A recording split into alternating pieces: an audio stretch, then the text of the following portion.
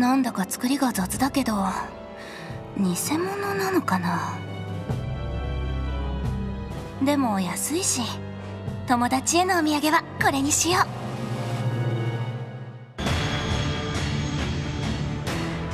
税関では麻薬や拳銃だけでなく偽ブランド品などの知的財産を侵害する物品も取り締まっています。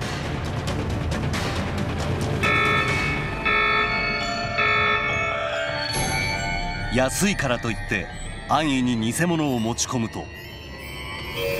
10年以下の懲役もしくは1000万円以下の罰金が課せられることがあります。偽ブランド品などの知的財産を侵害する物品は法律により輸入が禁止されています。偽物の輸入は本物の犯罪です。知らなかったでは済まされません。ブランド品がこんな値段で売ってるの？すごいお得。みんなへのプレゼントはこれにしよう。あかわいい。このブランドのお財布前から欲しかったのよね。私も買っちゃおう。近年インターネットで購入した商品が偽ブランド品などの知的財産を侵害する物品であったために税関で差し止められたというケースが多く発生しています。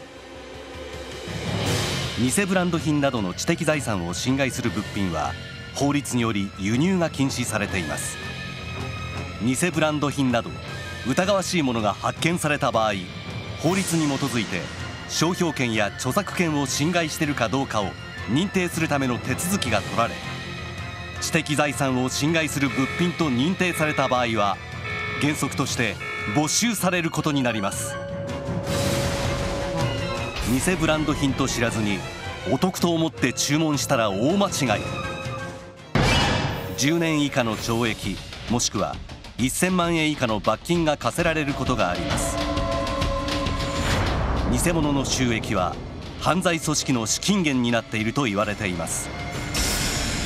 偽物は作ることも売ることも違法であり軽はずみに偽物を購入することは犯罪に加担することにもなるのです。